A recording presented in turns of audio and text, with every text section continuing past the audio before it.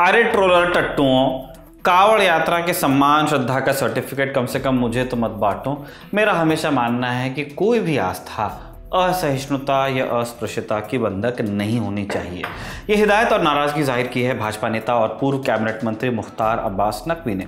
उन्होंने social media पर 18 जुलाई की रात नौ बजकर चवालीस मिनट पर एक पोस्ट किया।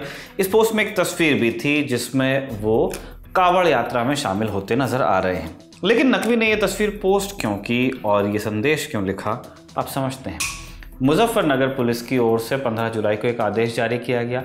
इस आदेश में सभी दुकानदार और रेहड़ी पटरी वालों से अपने ठेले पर अपने नाम की प्लेट टांगने के लिए कहा गया ताकि कावड़ियों में कोई कंफ्यूजन न हो कि वो किसकी दुकान से सामान खरीद रहे हैं।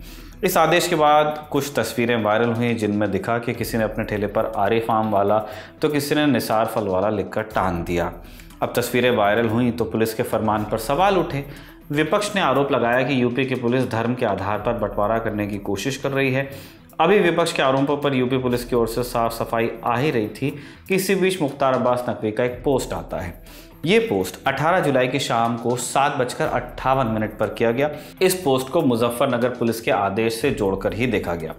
मुख्तार अब्बास नकवी ने अपने पोस्ट में लिखा कि कुछ अति उत्साही अधिकारियों के आदेश हड़बड़ी में गड़बड़ी वाली, अस्पृश्यता की बीमारी को बढ़ावा दे सकते हैं। आस्था का सम्मान होना ही चाहिए, पर अस्पृश्यता का संरक्षण नहीं होना चाहिए।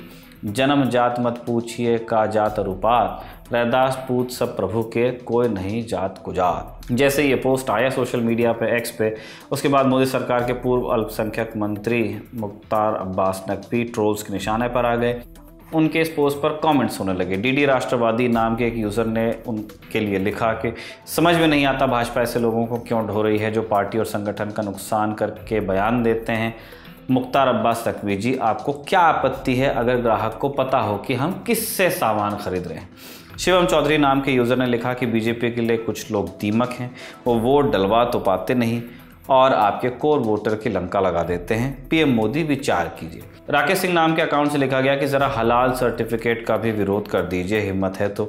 अशोक नाम के यूज़र ने लिखा कि ये सब तुम्हारी देन है, मगरमच्छ आँसू बहाने से कुछ नहीं होगा। लोग सब जानते हैं कि ये किसके आदेश से जारी हुआ है।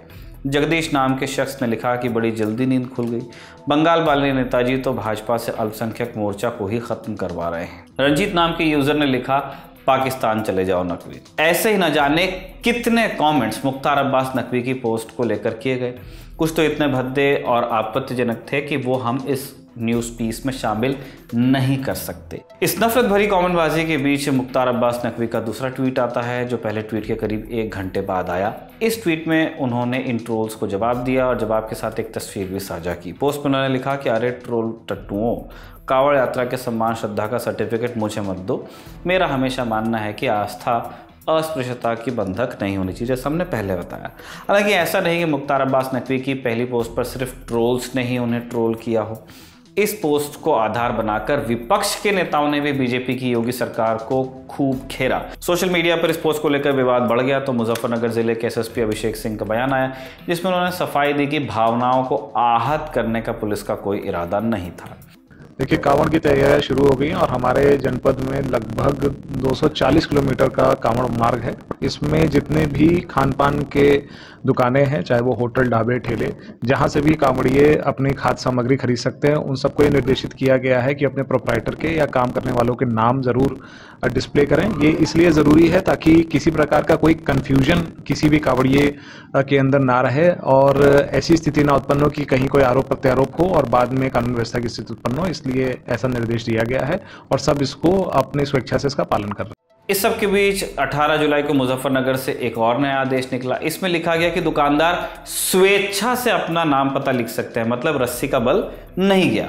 नए आदेश के मुताबिक कावड़ यात्रा मार्ग पर पड़ने वाले होटल, ढाबे एवं खान पान सामग्री बेचने वाले दुकानदारों से अनुरोध किया गया है कि वो स्वेच्छा से अपने मालिक और काम करने वालों का नाम प्रदर्शित करें।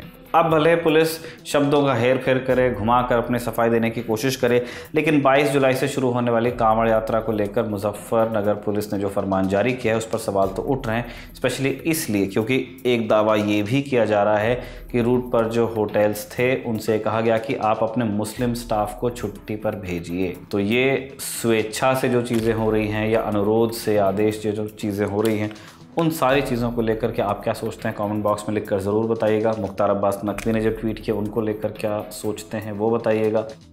आपके लिए ये जानकारी इकट्ठा की थी हमारी साथी सुप्रिया ने और आलोक ने इस वीडियो को रिकॉर्ड किया था। आप देखते रहिए दी ललन टॉप